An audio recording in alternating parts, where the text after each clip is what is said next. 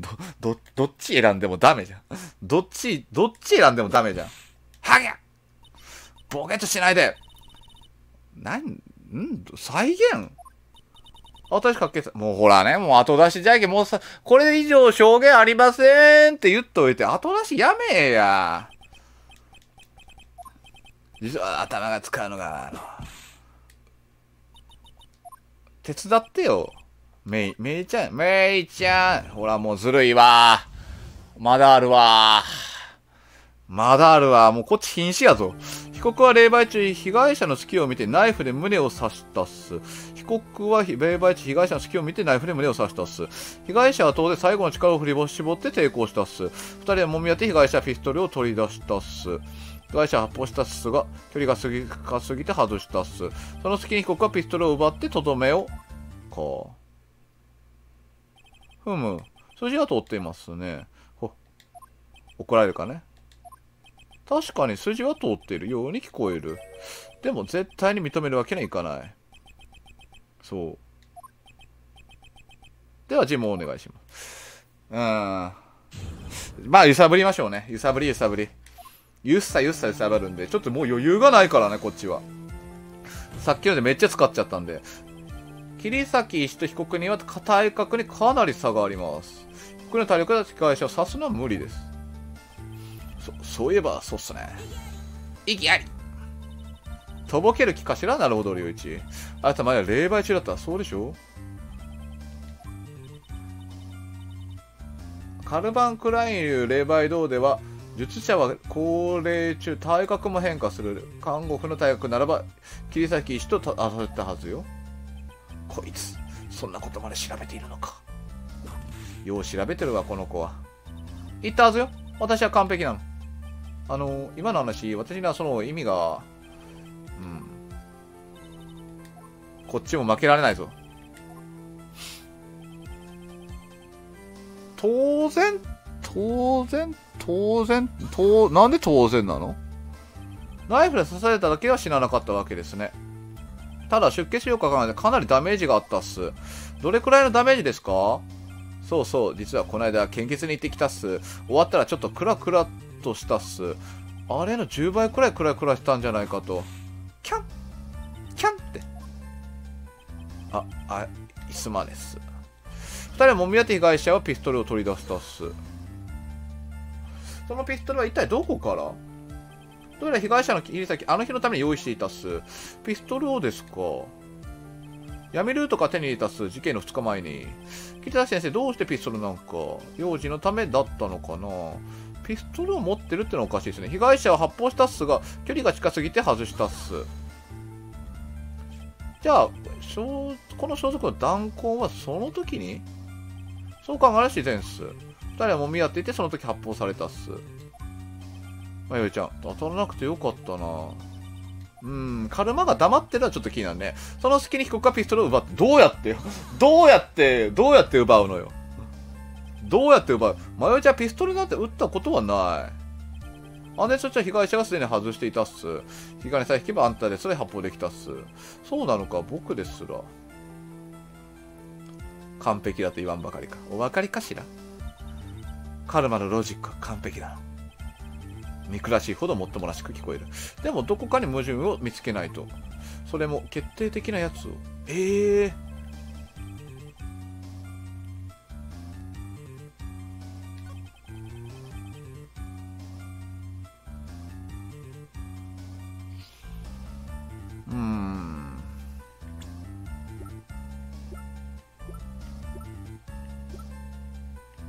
抵抗できんのかな？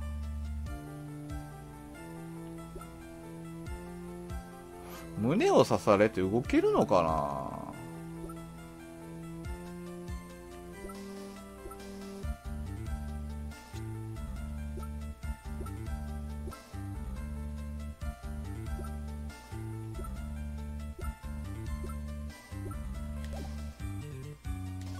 二人はもみ合って被害者はピストルを取り出したっす。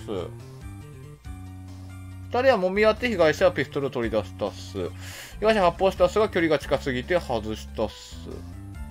被害者発砲したっすが距離が近すぎて近すぎて外したっす。その隙に被告はピストルを奪ってとどめを。至近距離すぎて外したってのが意味がわかんねえな至近距離すぎて外したっておかしくね？ここや。被害者が発砲したし、距離が近すぎて外すっておかしいでしょ。どういうことよ。距離が近すぎて外すってどういうこと？あー、これかな。じゃあ、足も、足から20センチほどの鼻の高さに、断固の中が穴が開いている。うーん、ここかな。ここかな。ここかな。被害者発砲したすが距離が近すぎて外す。刺す。でしょ？うわーでしょ？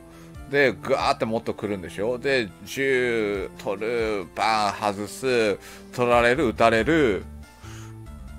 うーん、刺されて動けるのかが気になるが。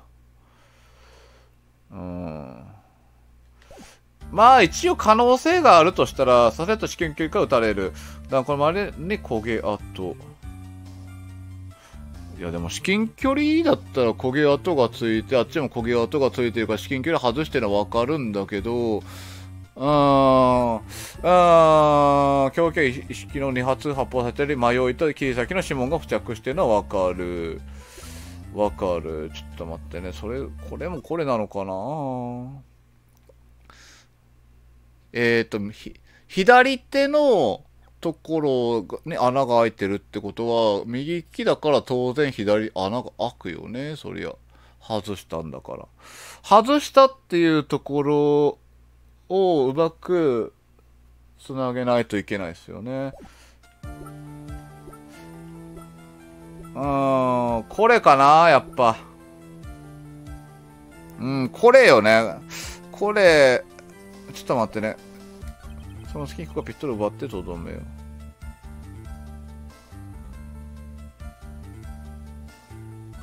わかんねえ。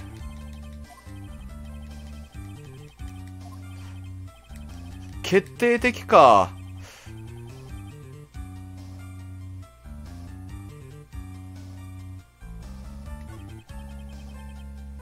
当然ってのも気になるんだけどね。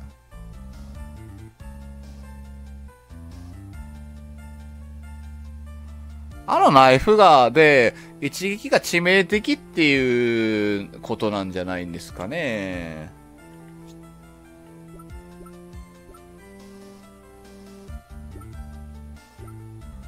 まあ、人は関係なさそうっすよね。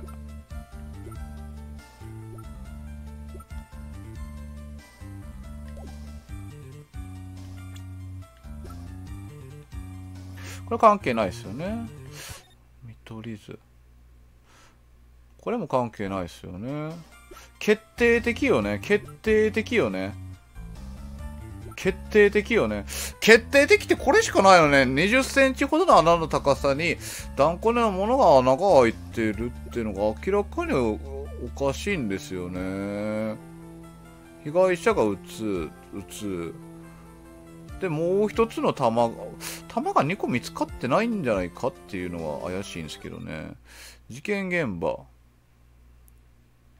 決定的よね。胸を刺されたと至近距離から撃たれる。弾痕の周りは焦げ。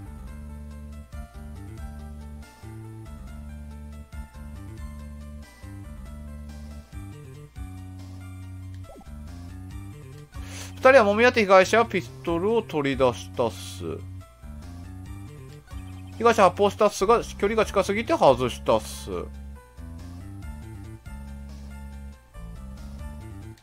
その付け被告はピストルを奪ってとどめよう。えー、聞けば聞くほどわからね。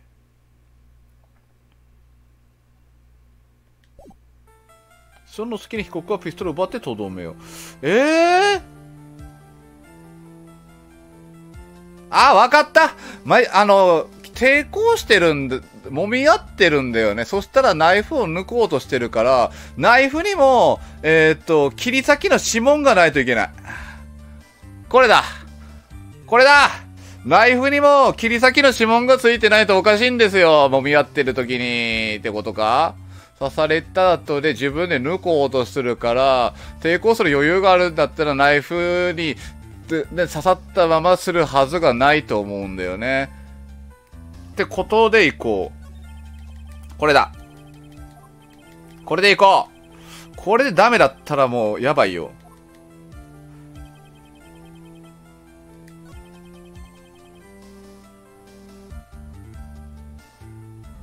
ここで、ナイフを出して、なん、抵抗するんだったら、その刺されたナイフを抜いて、えっ、ー、と、刺そうとするから、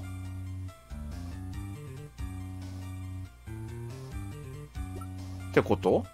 だから、迷いちゃんだけの指紋がついてるのはおかしいこの証拠品は今の、ええー、やらかしたマジっすか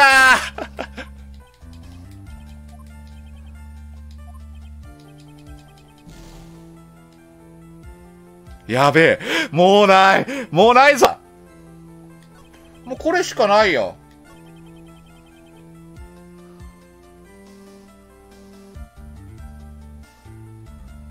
もうこれしかねえじゃん。みんなが知らないね。いけ勝つ俺が俺が勝つんだええー、ええー、ちょっと待って、マジかマジかマジか見つけられなかったか。ええ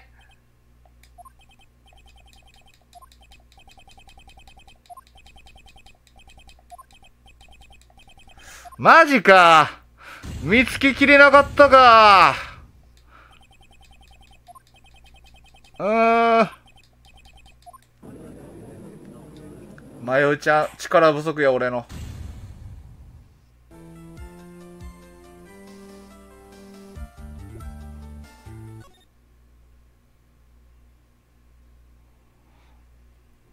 争ったのに、屏風が倒れてね、争った跡があるのに、祭壇とかが乱れてないっておかしくね？現場が全然荒れてなかったじゃないですか。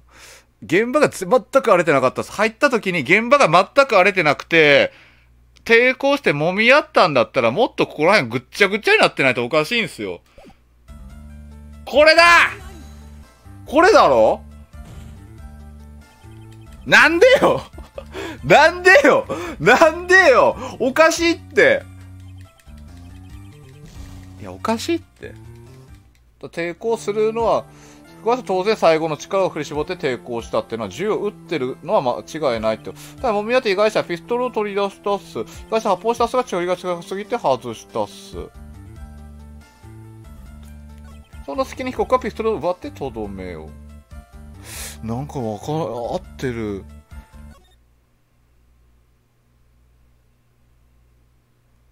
どっか探すんだ。どっか。ナイフを刺すってのは右ってよね。ナイフを刺すってのは右よね。それで撃ってここが揉み合ってる至近距離で外すのがここのここをかすめるってのがおかしいんじゃないかい？揉み合って撃たれてる時にここをこっていこう。近い時で争ってる時に、至近距離なんだよね。至近距離で、あそこのところが、至近距離で、至近距離でね、至近距離で、距離が近すぎて外したけど、ここに当たるはずがない。近すぎる状態で、この隅っこのところが当たるはずがねえんだよ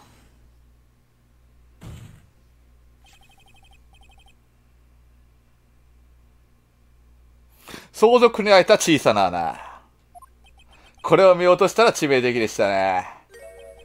どういうことですか？この小さな穴の正面に大きな穴を証明している